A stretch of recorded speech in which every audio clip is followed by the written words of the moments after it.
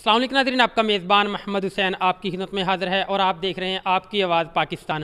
آج ہم آپ کی ملاقات کروائیں گے محمد مغیث سے، جن کو اللہ تعالیٰ نے ایک بہت ہی خوبصورت آواز سے نوازا ہے۔ آئیے آج ہم ان کی خوبصورت آواز میں سنیں گے تلاوت قرآن، تو آئیے ان کی خوبصورت آواز میں تلاوت سنتے ہیں۔ السلام علیکم۔ اعوذ باللہ من الشیطان الرجیم۔ بسم اللہ الرحمن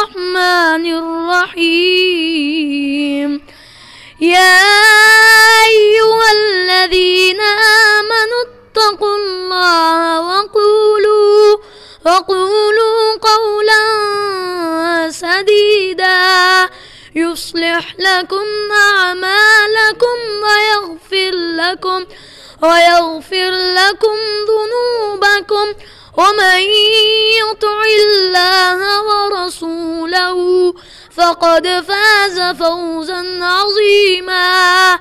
إنا عرضنا الأمانة على السماوات على السماوات والأرض والجبال.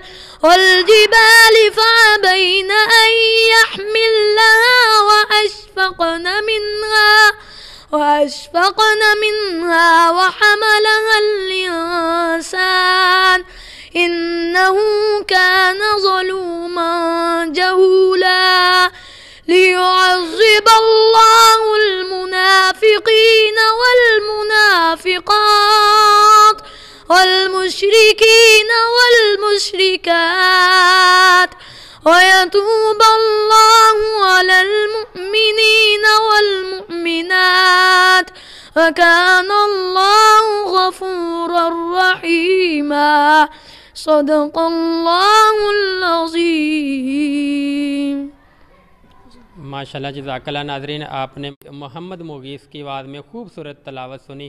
یقیناً آپ کو ان کی آواز میں تلاوت سن کر مزہ آیا ہوگا۔ اپنے میزبان محمد حسین کو دیں اجازت اور دیکھتے رہیے آپ کی آواز پاکستان۔ اللہ حافظ۔